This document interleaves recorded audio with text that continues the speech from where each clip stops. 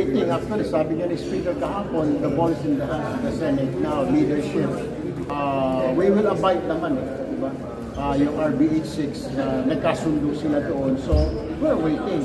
Kung uh, may, tinag may nagtatanong sa akin kahapon na kasama sa media, may timetable pa. Of course, we cannot give them a timetable, di ba?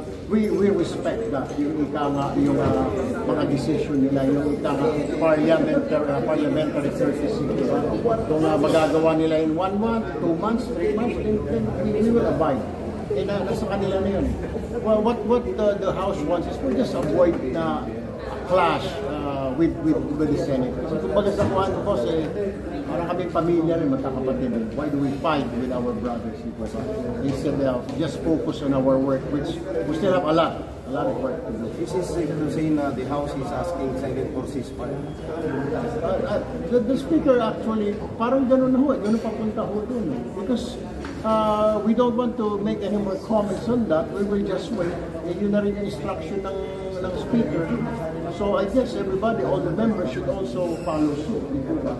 Rather than keep on attacking and wasting their time on, on, on, on answering all these uh, mga tira, banat, eh focus na lang po siguro sa trabaho, dun sa mga local bills nila, mga national bills, mga priority agenda, uh, bills ng uh, Pangulo, ano nila ho. Kasi may natitira pa akong tatlo yata out of the, so kailangan na ipasa ng House leadership. So, Marami. topic conference last was called on the House leadership